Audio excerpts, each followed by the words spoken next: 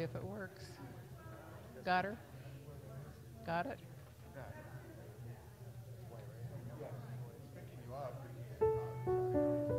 Oh, well, who knows why?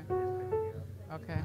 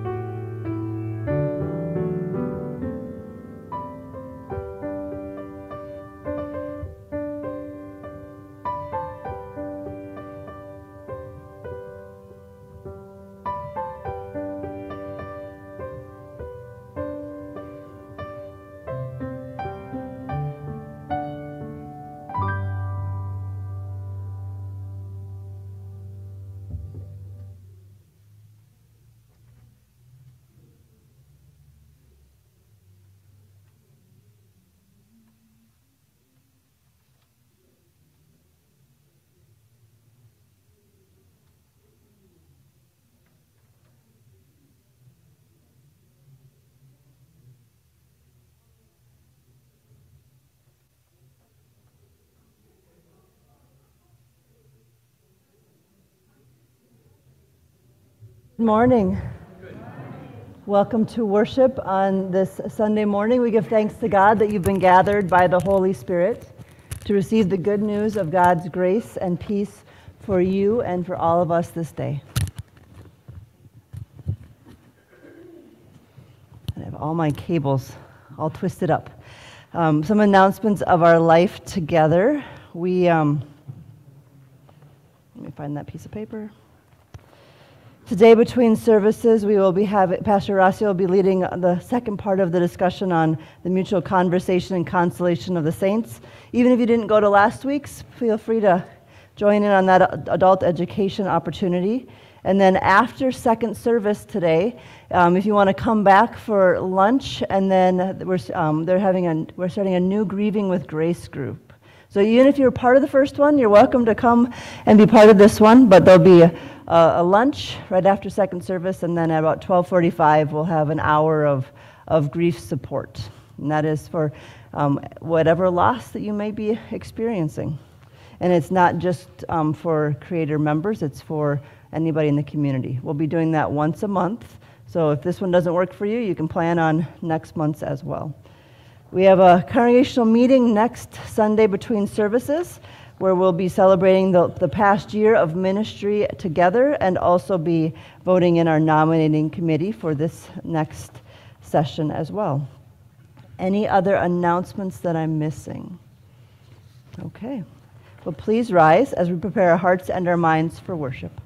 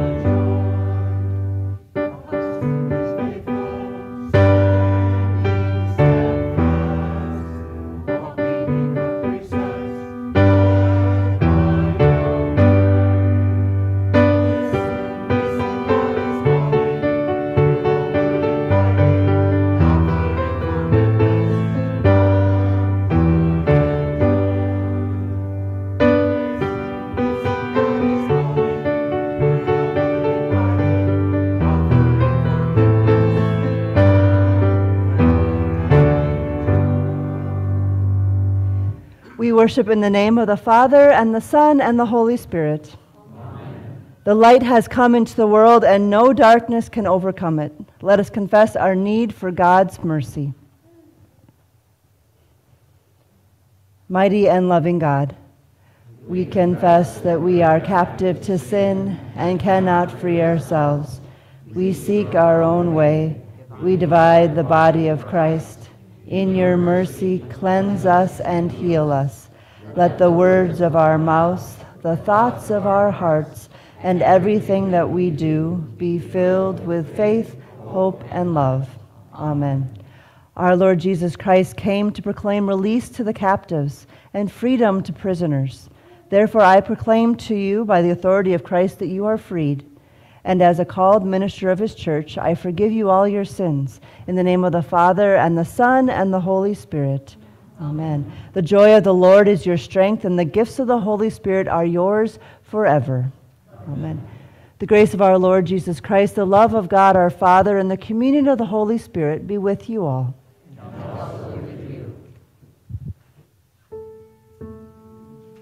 In peace, let us pray to the Lord.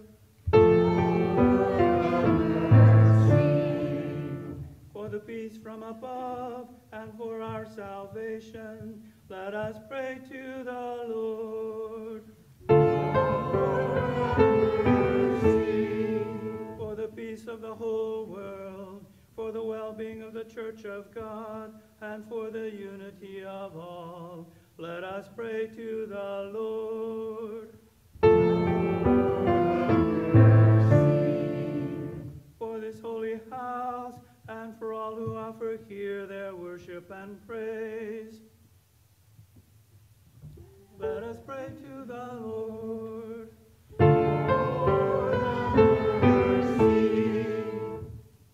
Help, save, comfort, and defend us, gracious Lord. Amen. Glory to God in the highest, and peace to God's people on earth.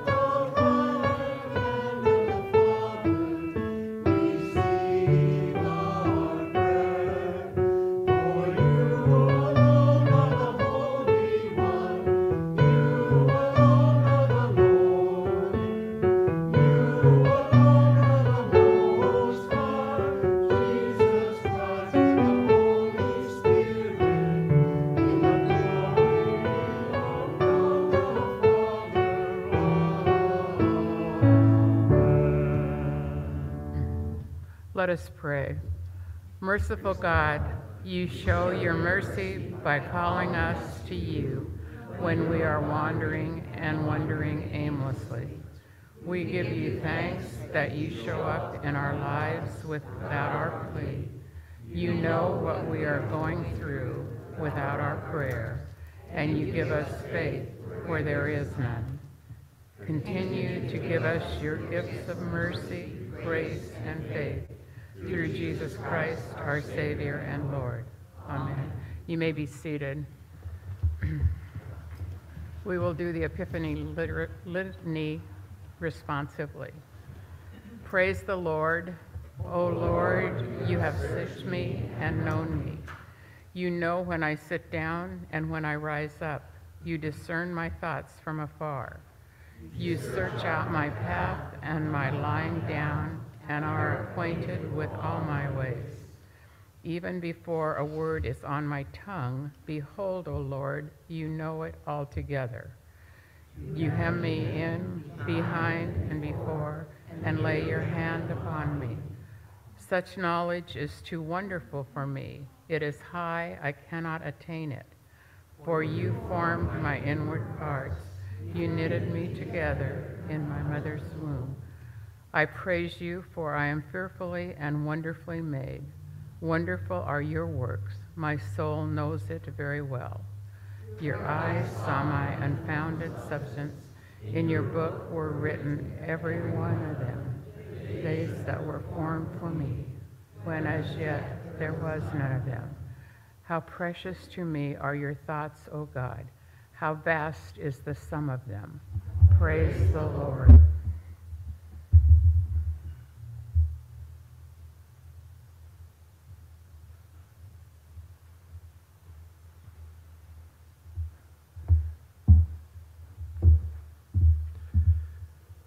First reading is from 1 Samuel, the third chapter. Now the boy Samuel was ministering to the Lord in the presence of Eli, and the word of the Lord was rare in those days. There was no frequent vision. At that time, Eli, whose eyesight had begun to grow dim so that he could not see, was lying down in his own place. The lamp of God had not yet gone out, and Samuel was lying down in the temple of the Lord where the ark of God was. Then the Lord called, Samuel. And he said, Here I am, and ran to Eli and said, Here I am, for you called me. But Eli said, I did not call. Lie down again. So Samuel went and lay down. And the Lord called again, Samuel. And Samuel arose and went to Eli and said, Here I am, for you called me.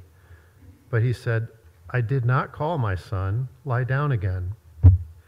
Now Samuel did not yet know the Lord, and the word of the Lord had not yet been revealed to him.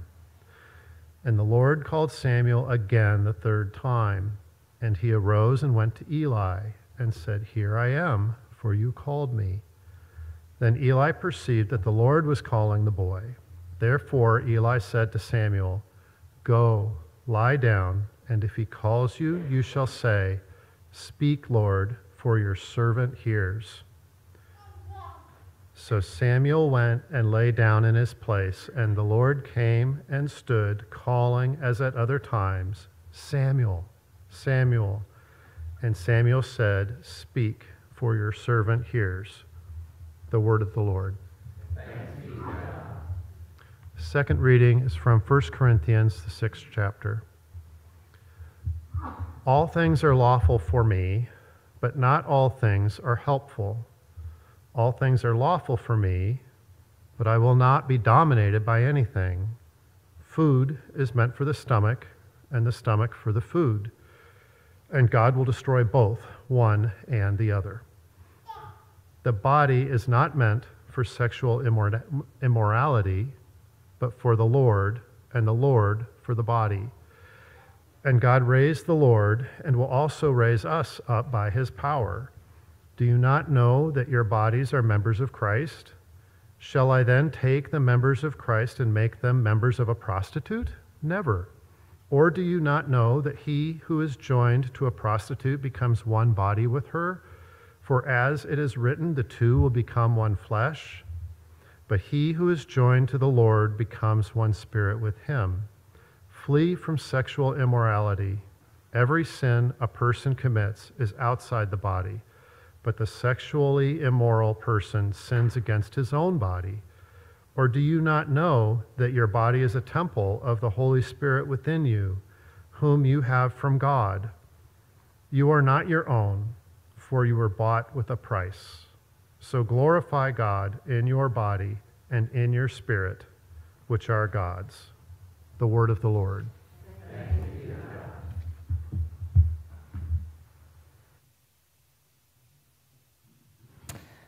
Well, now I invite any of the children who are here this morning to come forward and we'll talk a little bit about what's going on this morning in our readings, especially in our gospel reading. All right. So there is, we are going to uh, read, the gospel reading is about Philip and Nathanael. And before what we are going to read this morning, there is the calling of other disciples. And this week we have the calling of um, other disciples. So Jesus is calling everywhere and everyone to be his disciples. Do you know what a disciple is? What is the word disciple? A student, yeah, a student, a follower. So, and that's what Jesus is doing. And Jesus says, Come, follow me. And do you think that uh, those disciples knew Jesus before? No, they did not know Jesus before. So, what needed to happen? So, um, let me ask you something. Um, do you live by yourselves? In your own place? Are you by, your, by yourself? Do you cook your own meals? No? Uh, do you wash your own clothes? No, probably not. Do you um, go to work? And do you drive your own car? No, right? So you know that you have a person, a grown up, with you in your house, right? Yeah, or maybe at school, maybe at church, there are other grown ups. And uh, when you don't see them, do you know that, they, that they're still there? Do you know, how do you know that uh, your parents are at home or that they are there for you? What do you think? Because they might uh, feed you, maybe. That's very important. They might clothe you. They might say, You got to go to school, right? So they know you and you know them and you know they are there for you, right? So it is with Philip and Nathanael that we are going to hear about. That Nathanael, that Philip is so excited. He did not know Jesus. And Jesus comes calling, and then Nathan, uh, Philip says, We have found the Lord. And Jesus was the one looking for him and looking for Nathanael and for everyone. And that's how Philip knows that Jesus is there for him. So, how do we know that Jesus is there for us? Well, we know that he is for us because we hear his word. Every time we gather here, we hear his word. And he says, I know you. And do you think that's always a good news? When somebody says, Well, I know you. Is that good news? And you're like, Well, what do you know about me? Right? Maybe, do you know everything? Or you not know something about me? Right? We of get worried. But with Jesus, when he says, I know you and I have chosen you, it's because he has mercy on us. He loves us. And he says, You are mine. No matter what you have done, no matter who you are, you are mine. All right? And he comes looking for us, and he comes calling for us, and he comes searching for us, and he finds us. So that's the good news of the gospel for us every single day. All right? Let's pray. Dear and gracious God, we give you thanks for calling us in our baptism, for choosing us in the waters, in the living waters that you have given us in Christ Jesus. We ask you that you continue to be with us, that you continue calling us, that you continue making us your own now and always. And uh, continue to be with all of the families here and uh, those who are not here uh, as well. And we pray that you uh, are with us this week in uh, whatever we have going on in our lives. In Christ's name we pray. Amen. All right, you can go back. Please stand for a gospel acclamation.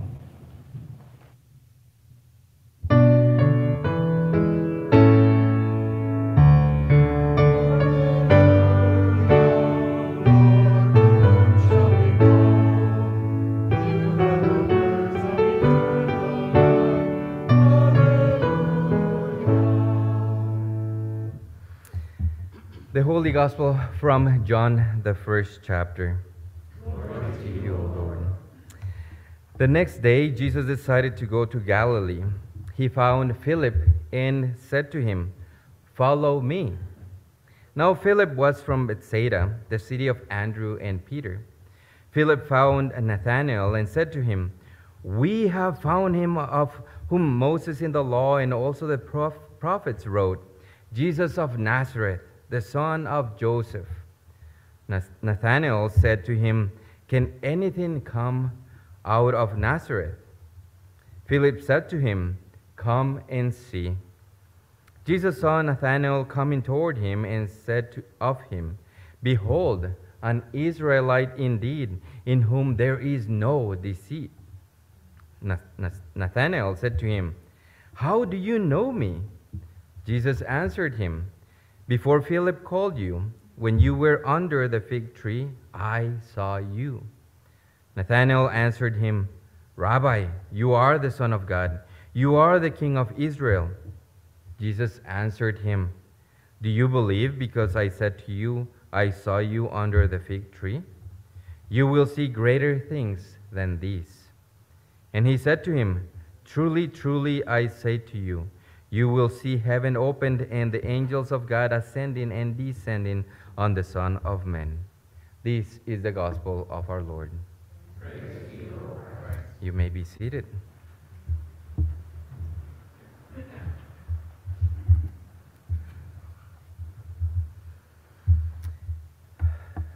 Grace to you and peace from God our Father and our Lord and Savior, Jesus Christ. Amen. Well, today we hear Jesus calling his disciples, which can be overwhelming a lot of the times for us. It gets a little intimidating as we just heard Jesus calling his disciples, not asking them whether they would like to follow him or if they would consider being his disciples. Jesus did not come to them saying, Would you pretty please come and be my disciples? No, he just says, Follow me. He simply calls them.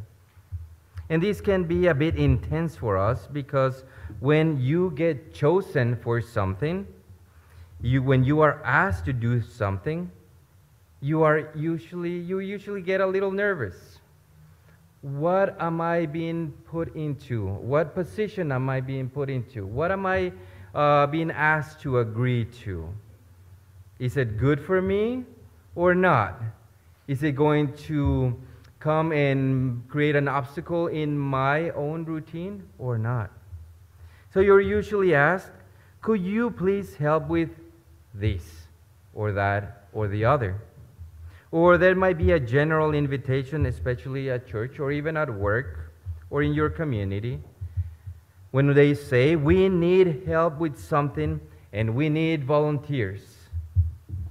And you say, Yeah, that's very true. Yeah, who, who, might, who might be available to volunteer, right? I, I hope somebody comes forward.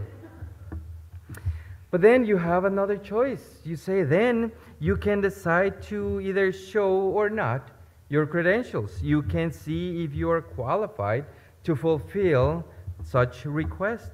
And most importantly, you can say yes, you can say no, you can say maybe, or even let me think about it. Or in church, we might say, let me pray about it, right? And even when you are voluntold, you can still potentially find a way out. It might even be a little bit harder to get yourself off the hook if the person asking might be a relative, might be your spouse, might be a very close friend. But even then, in theory, you might still have a chance for a way out. You have a choice. But today, it is not so with Jesus. In this case, none of this applies. Jesus comes as the Lord and King that He is. And when He calls, He takes away any choice you might think you have. When He calls, He puts you in the corner with Him, and before you know it, you are on your way someplace in ventures of which you have no measure or any idea where you're going. When Jesus calls you, you are already going along the way, tucking your shirt in your pants, hopping on one foot, putting on your shoe, and maybe trying to comb your hair, asking Jesus, Where are we going, Lord? I, am coming, but I don't know what or where or what we're doing. But the disciples haven't figured this out yet. You can hear that when one of the disciples says, We have found the Lord. Yeah, mm-hmm. But we know who did the finding. We know who did the choosing. And we know how it all works. Psalm 139 gives us a great promise how God knows us to the very core. even when we are sitting down and when we are rising up, and He even knows our thoughts from afar. It is not such a great news, and it should scare the socks off of you when you do not know the gospel. And the despair of your sin as is at the forefront of your mind. It is here where you wish God would give you just maybe a teeny, teeny little space for maybe a secret or two. But even then, God's promise is to call you out of your darkness into His light, out of your sin into His righteousness, and out of your death into His everlasting life. So, you do know the gospel, and you can take refuge in Him. But before we go diving headfirst into the life giving gospel, let us get back to the gospel reading, to Jesus' calling of the disciples. And even though you know, you do know the gospel, you do know God's promises for you in Christ Jesus, we can't sometimes uh, but help ourselves fall into our old ways, just like Philip and Nathanael. Even though you know these promise, and most importantly, you do know the promise giver, it is hard for us in our very nature to let go, to truly live fully into the saying, give credit where credit is due. Between complete trust in God and give credit what, where credit is due, these are very often the two most difficult and hardest things for us to do to trust God completely and to not try to take credit for something we didn't do. We like trusting ourselves instead before we trust anybody else. And we like getting credit for things that we have not even done ourselves. We like to be given credit, that is for sure, even if it is only by association. If we are even near the vicinity of something we consider important happened, we like to take some credit, if not the whole credit. I was there, we say. Therefore, it is as if I did it myself. And this reminded me of when I was a little kid. My father brought home my very first pet. And he was a little Chihuahua dog, cute little Chihuahua dog. And I liked playing with him, but then my father thought, not long after getting him, that my dog needed a friend.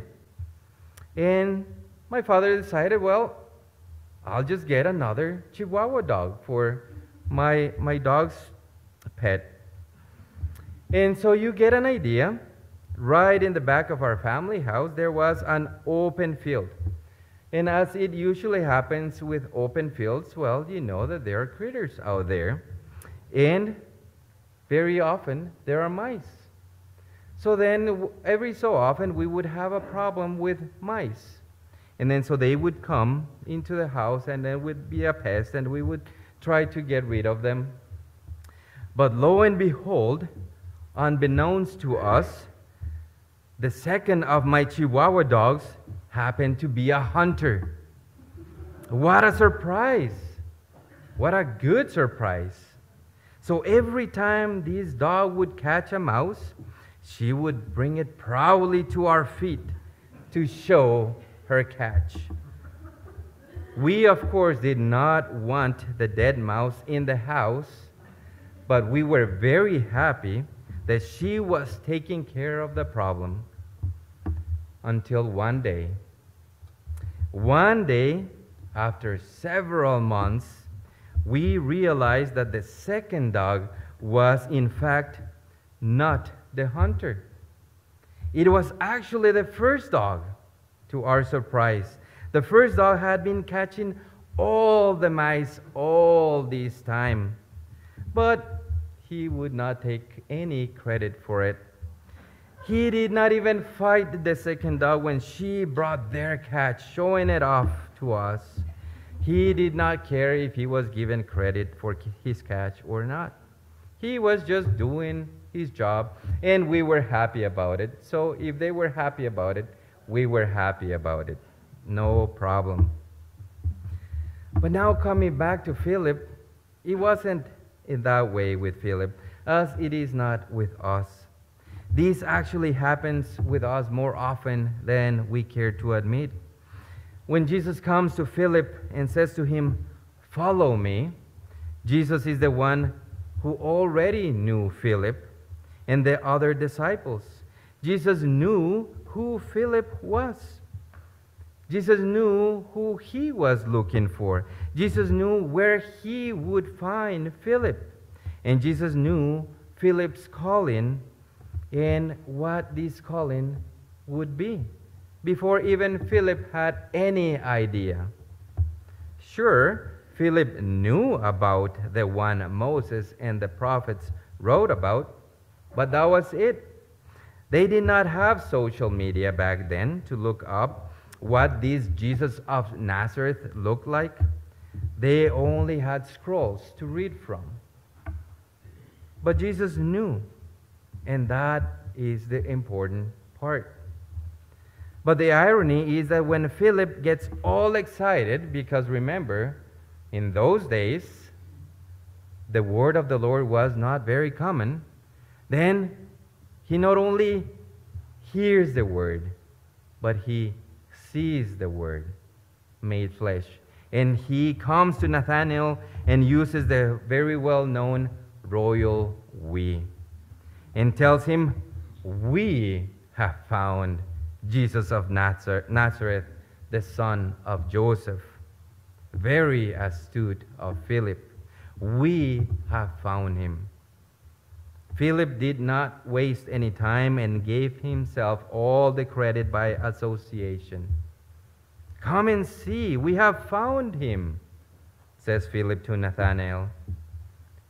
But notice here, Jesus does not get into a fight with Philip.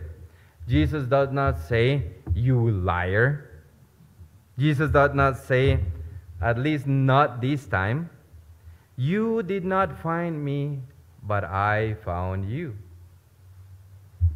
Before Nathanael reaches Jesus to confirm that in fact the one that Philip found was Jesus of Nazareth, Jesus greets Nathanael and says, I know you. In fact, I have known you from long ago. You are an, an Israelite in whom there is no deceit. Naturally, Nathanael is surprised and asks, How do you know me?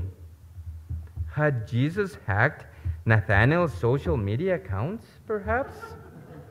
Had Jesus done a background check on Nathanael? Oh boy. But no. Jesus says, Before Philip called you, when you were under the fig tree, I saw you. Uh oh. This can be very good news or very, very bad news. It would be one thing if, if someone you do not know approached you and said, I know what you did last summer, or I know what you did last week, which in and of itself is already very creepy. But you would still be skeptical about it, questioning and wondering does this person really know me? Does this person is really truthful about this? But when you hear these words coming from Jesus' lips, if you feel like you are doing well, then there is nothing you should be worried about, right? But what about if you are not doing so well in your life, especially in your Christian life? Well, these would not be very good news. You would be very worried. What if Jesus saw what I did, what I did not do? The things that I said, oh, and the thoughts that I thought. Not very good news to say the least. If this was about Christ's judgment of your faithfulness, of your holiness, of your sanctification, of your commitment to God, of your discipleship as a follower of Jesus, oh boy, I'd be worried too. I would be worried about the questions Have you answered God's calling to serve God, your church, and your neighbor? Have you taken up your cross and followed Him? Have you listened to His calling for justice and love and mercy in this world? And last but not least, have you responded well to this great gift of the gospel for you? Very worrisome questions and things to consider indeed. However, these are not the things that Jesus is interested. These are not the questions that Jesus is looking answers to. Rather, the great news of the gospel is that Jesus already knows you. Jesus already knows your sin. Jesus already knows your unfaith. Jesus already knows about your unholy thoughts and many a time unholy words. Jesus already knows about the things that you have done and the things that you have left undone. And Jesus already knows that you have not loved him with your whole heart and that you have not loved your neighbor as ourselves. Jesus knows it all to the very little detail, to the very last detail of your life, of your heart, and of your mind. But Jesus does not come calling you for the great things that you have accomplished. He does not come calling you because you were so holy and so perfect and so nice to your neighbor. But quite the contrary, Jesus comes calling you by name, knowing you need him as your Lord and as your Savior. Not as a rabbi, as Philip says, Rabbi. No, not as a teacher, not as a Moses 2.0, and much less as a super Moses with all the demands of the law in your hearts and in your minds and in your life. Instead, in his divine goodness and mercy, he already knows you. He is the one coming to you. He is the one looking for you. And He is the one finding you. He is not interested in playing hide and seek with you. He has already found you, and He is the one calling you. He is the one claiming you, and He is the one justifying you, saying, You are my beloved Son. You are my beloved daughter, with whom I am very well pleased. I knew you before I formed you in your mother's womb. Before you were born, I set you apart. I formed your inward parts. I knitted you together in your mother's womb. And in your baptism, guess what? I have chosen you, and I have clothed you in my righteousness. This is where God knowing you to your very core is actually good news. When you know that you cannot hide from God's Spirit and that you cannot flee from His presence. Even in this life, when you are doing well and you ascend to heaven and you feel like you are in cloud nine, He is there. And when you descend into Sheol, when you are in the worst hell of a life, He is there also. From among the millions and billions of people in the whole wide world, God knows you by name. That is a promise. When He calls you, you are mine. In your baptism, you have been given such a great promise, a sure promise. You have been claimed, and you have been made an heir by the forgiveness of your sin. You have Christ's own life now and always, in salvation and the complete certainty that nothing, nothing can separate you from the love of God in Christ Jesus. And for these we say, Thanks be to God. Amen.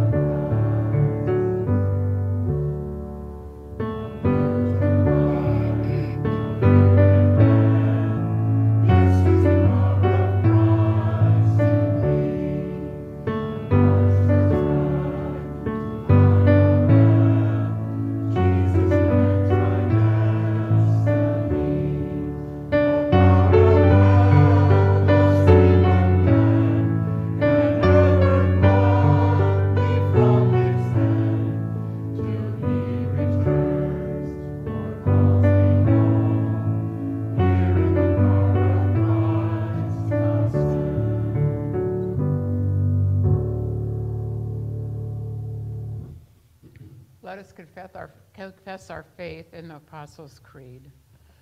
I believe in God, the Father Almighty, creator of heaven and earth. I believe in Jesus Christ, God's only Son, our Lord, who was conceived by the power of the Holy Spirit, born of the Virgin Mary, suffered under Pontius Pilate, was crucified, died, and was buried. He descended into hell. On the third day he rose again. He ascended into heaven. He is seated at the right hand of the Father, and he will come to judge the living and the dead. I believe in the Holy Spirit, the Holy Catholic Church, the communion of saints, the forgiveness of sins, the resurrection of the body, and the life everlasting. Amen. Let us pray for the whole church of God in Christ Jesus and for all people according to their needs. Lord, our gracious Father, you desire not the death of a sinner, but that all would repent and believe the gospel. In the baptism of your Son, your salvation and your kingdom have been revealed to us. As this world passes away, give us your peace, that in your faithfulness you are the one who survives your church by the proclamation of the gospel. Continue to sustain us by this very promise that no matter what our life circumstances might be, you are there in and with us. Lord, in your mercy, hear our prayer. Merciful Lord, you have called your people and made them great prophets and disciples. Many times we want to be great and do great things, but we ask you to remind us that the greatest thing is not what we think we can do or the things we might accomplish, but that you have looked on us with grace and favor. As you found Samuel, Philip, Nathanael, and the other prophets and disciples, we ask you to assure us and give us the certainty that you already know us when you seek us, that you find, that you claim, that you elect us and make us your children. Give us the confidence that as we call it, as you call us into our vocation, we can share the great, this great gift of faith with others so that they too can be comforted by your promise. Lord, in your mercy, hear our prayer. Almighty God, preserve our nation with its elected leaders, that they may be servants and not rulers of the citizens of this land. Call to repentance those who have forgotten you. Be with our President Joe Biden, Governor Inslee, and all who serve the good of the people in this country. Do not let disaster fall on us, but preserve us in your peace and comfort. Lord, in your mercy, hear our prayer. Merciful Father, turn us from distracting anxiety and the dealings of the world that would draw our ears and hearts away from your blessed gospel. Give us confidence in the baptism you have already in the baptism you have already claimed us, that in his death and resurrection Christ has bestowed on us his forgiveness of our sins, his life and his salvation. Graciously hold in your care and help those for whom we pray especially those suffering from illness, anxiety, hopelessness, and those mourning the death of a loved one. Give them the assurance that you are with them now and always. Lord, in your mercy, hear our prayer. All these things and whatever else you know that we need, grant us, Father, for the sake of Jesus Christ, who died and rose again and now lives and reigns with you and the Holy Spirit, one God forever. Amen.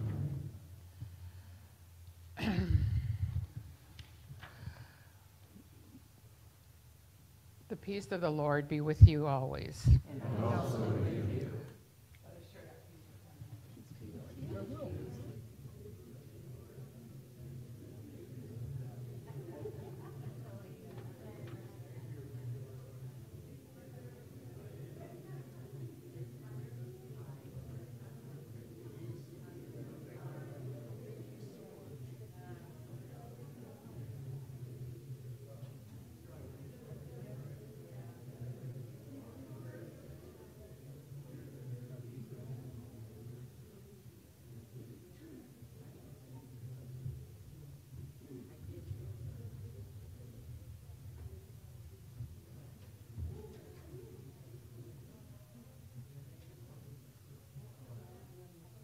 Before we collect our offering, I want to give a little bit of a, a, heads up about our song. It's called Sing We Now of Christmas. And you might go, but it's Epiphany. Well, Epiphany is the manifestation of our Lord. And one of the ways that God is most manifest is in the incarnation.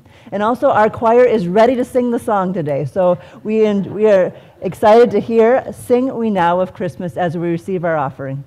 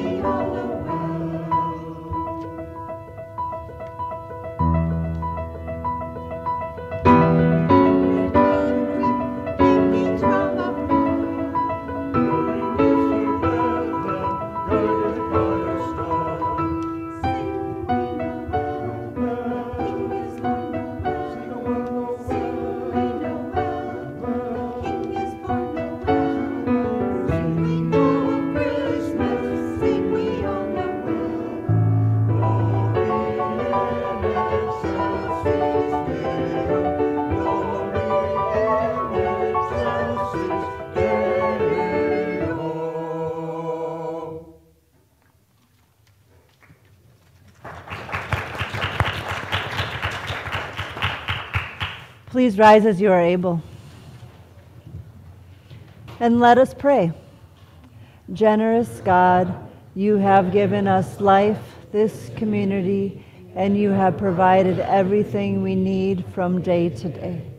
Give us listening ears to hear your word and gracious hearts to help our neighbor. Help us bring your gifts of word and deed to share your hope and blessings wherever we go. Through Jesus Christ, our Savior and Lord. Amen. The Lord be with you. And also with you. Lift up your hearts. We lift them to the Lord. Let us give thanks to the Lord our God. It is right to give God thanks and praise. It is our duty and delight that we should at all times and in all places offer thanks and praise to you, O Lord, Holy Father, through Christ our Lord. Sharing our life, he lived among us to reveal your glory and love, that our darkness should give way to his own brilliant life. And so, with the church on earth and the hosts of heaven, we praise your name and join their unending hymn.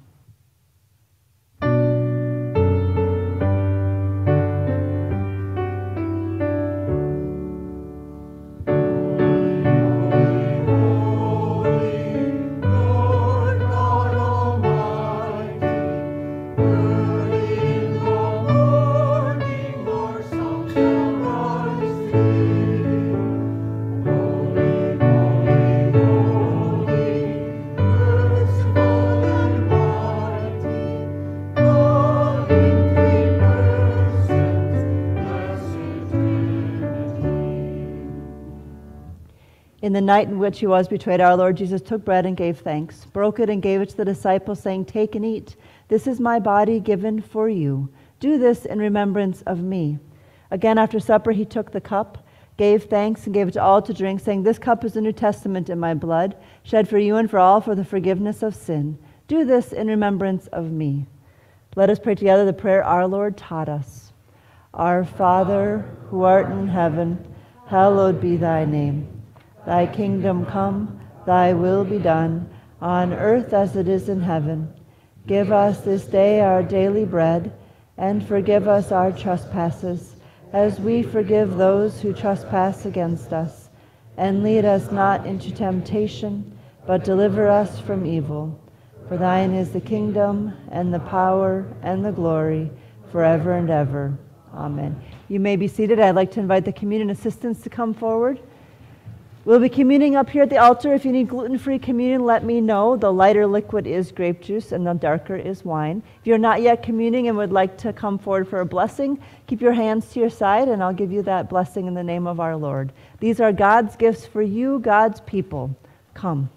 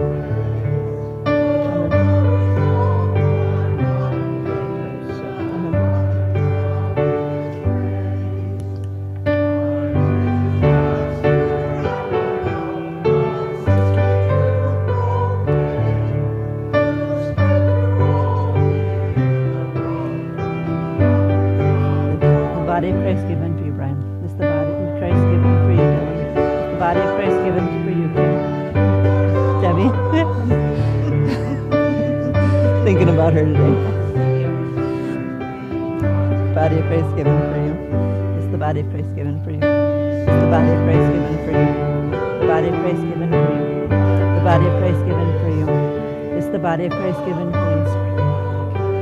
Este es el cuerpo de Cristo dado por ti. Este es el cuerpo de Cristo dado por ti.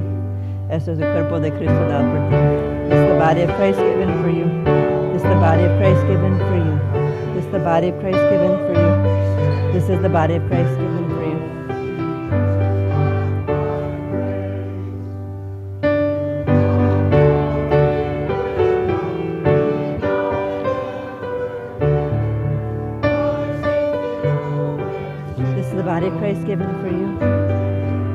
Of Christ given for you. This is the body of Christ given for you. This is the body of Christ given for you. This is the body of Christ given for you. This is the body of Christ given for you. This is the body of Christ given for you. This is the body of Christ given for you. This is the body of Christ given for you. This is the body of Christ given for you. This is the body of Christ given for you. This is the body of Christ given for you. This is the body of Christ given for you. This is the body of Christ given for you. This is the body of Christ given for you.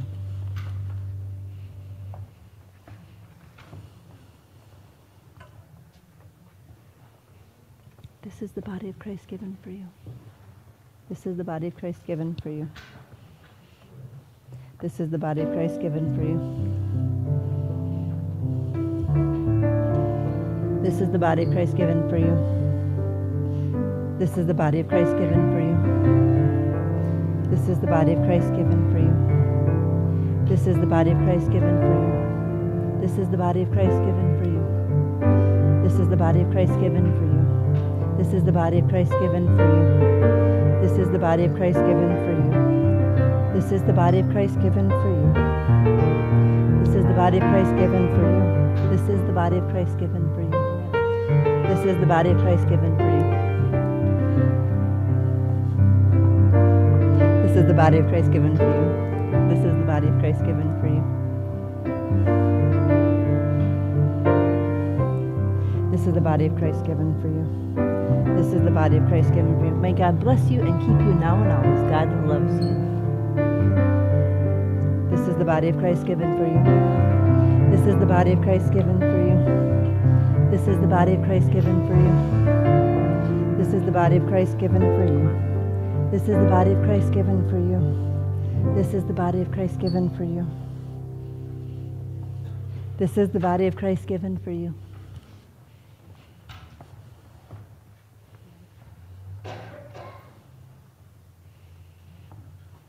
This is the body of Christ given for you. This is the body of Christ given for you.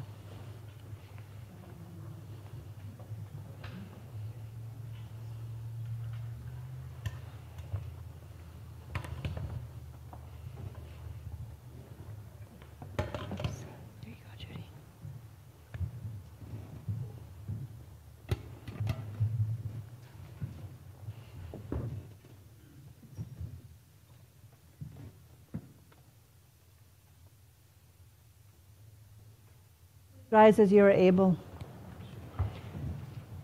The body and blood of our Lord Jesus Christ strengthen and keep you in his grace. Amen. Let us pray.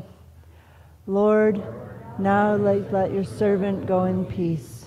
Your word has been fulfilled in my hearing. My eyes have seen, my mouth has tasted, and my ears have heard your salvation, which you have prepared for us a light for the revelation of your abundance and overflowing mercy and grace for us. Through your Son, our Lord and Savior, Jesus Christ. Amen. Go now in peace, for God's word has been fulfilled in your hearing.